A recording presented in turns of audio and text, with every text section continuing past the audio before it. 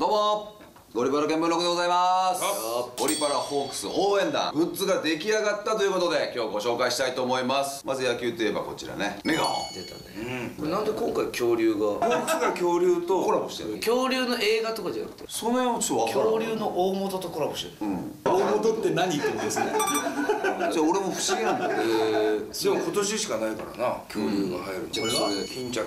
裏側がいいんです。黒なの珍しくて。タオルも結構今回黒ではい。洒落てるんですそうなんですよ。恐竜とコラボです。恐竜とコラボ？